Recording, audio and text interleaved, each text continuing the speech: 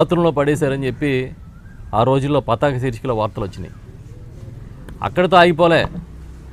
NT Ramarao గారి బర్త్డేకి ప్రతిసారి మహానాడు నిర్వహించడం ఆనవాయితీ అయితే దాన్ని కూడా పక్కన పెట్టేసి ఎండలు ఎక్కువైపోయినాయి. అందుకనే మేలో మహానాడు పెట్టట్లేదు. మహానాడు కూడా కొన్ని రోజులు మానేసిన చరిత్ర ఈ చంద్రబాబుది. ఇప్పుడు వచ్చి మళ్ళీ ఎన్టీ రామారావు గారు శక పురుషుడని ఈ శకలక పురుషుడు చెప్తా ఉన్నాడు. ఏం చెప్పాలి? నిన్న మొన్న ఆయన చెప్పిన అబద్ధాలు ఆయన ఫ్రస్ట్రేషన్ని తెలియజేస్తూ ఉన్నాయి. మళ్ళీ ఒక కొత్త అబద్ధాల పుట్టతో తయారైపోయాడు. ఎందుకంటే రెండు వేల ఇరవై నాలుగు ఎన్నికలు వస్తున్నాయి. మళ్ళీ జనాల్ని మోసం చేసి ఏదో రకంగా అధికారాన్ని చేజెక్కించుకోవాలనే ఒక తాపత్రయం అతనిలో కనబడుతోంది.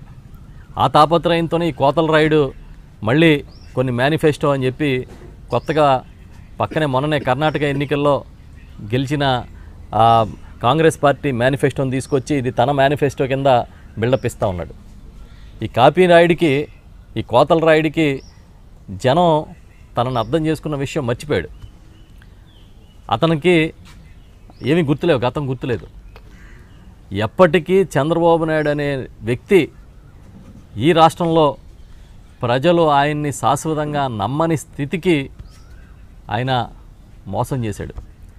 రెండు వేల పద్నాలుగు మేనిఫెస్టో తీసుకుంటే రెండు వేల పద్నాలుగు మేనిఫెస్టోలో ఆరు వందల యాభై అంశాలు చెప్పి అందులో కేవలం పది అంశాలను మాత్రమే ఆయన నెరవేర్చిన సంగతి మనం చూస్తాం. ఏ ముఖ్యమంత్రి అయినా సరే తను చాలా గొప్పగా తొలి సంతకం పెట్టాను. తొలి సంతకాన్ని చేయడం అని అంటే ఒక చెరగని ముద్ర వేయడం ఇదిగో ప్రజల కోసం నేను ఇది చేస్తానని చెప్పడం. కానీ అలా చంద్రబాబు నాయుడు పెట్టిన ఐదు తొలి సంతకాల్లో ఒక్క సంతకం కూడా రెండు వేల పద్నాలుగులో అధికారంలోకి వచ్చినప్పుడు అమలు కాలేదు. బెల్ట్ షాపులు ఎత్తేస్తానన్నాడు. డ్వాక్రా రుణమాఫీ అన్నాడు. రైతు రుణమాఫీ అన్నాడు.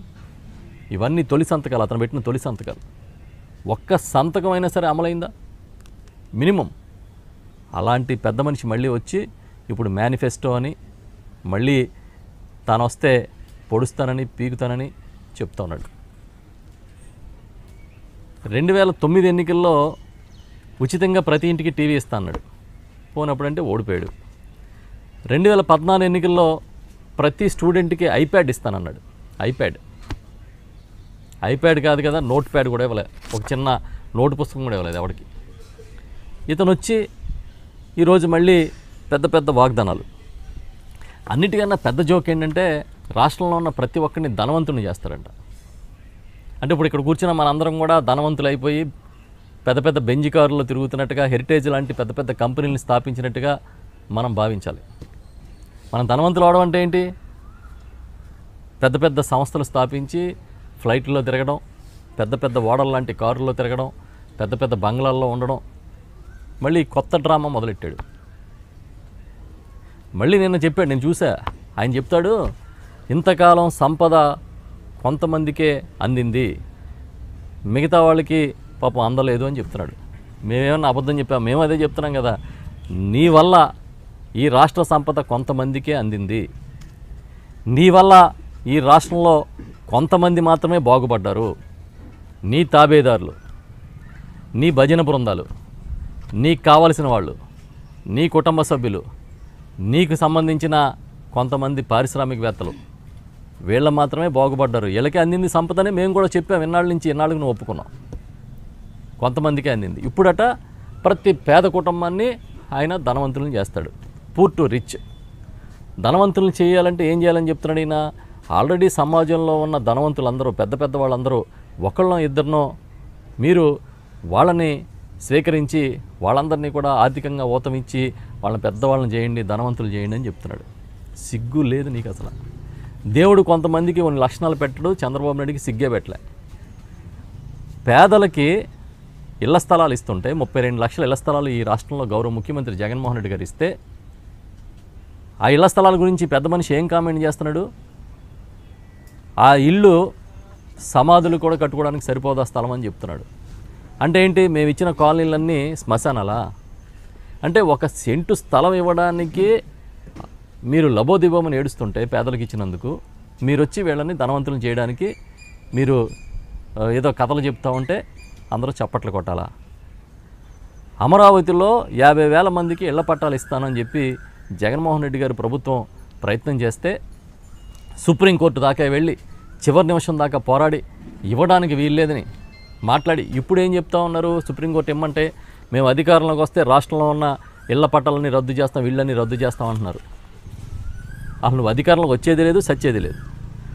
వస్తే రద్దు చేస్తావా?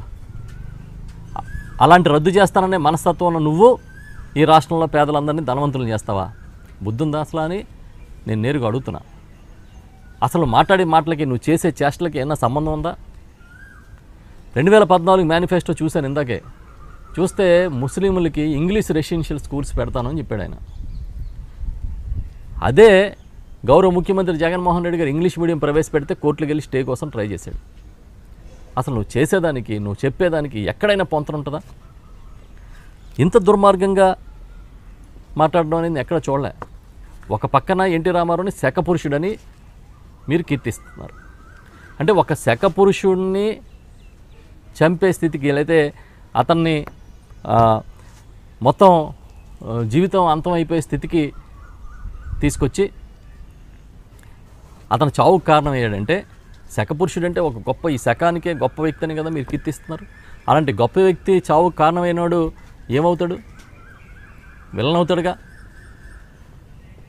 అవడా అంటే నువ్వు శకపురుషుడిని చంపినవాడు నిన్నేమనాలి? ఒకవేళ లేదు నువ్వే కరెక్ట్ అనుకో చంద్రబాబు నాయుడు. నువ్వే హీరో అనుకో మరి చనిపోయినాడు ఎవరు?